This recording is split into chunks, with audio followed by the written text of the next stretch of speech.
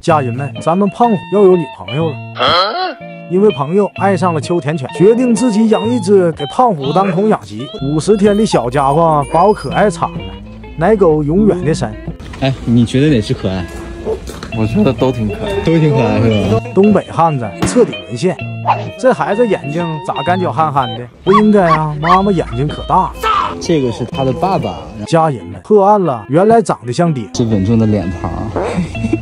听说拿过濑户内海的冠军。中国四国総支部若いの一席，全国五番五席。哎，发现一只大号胖，管理员说这是母狗，公狗长得比这个还要大。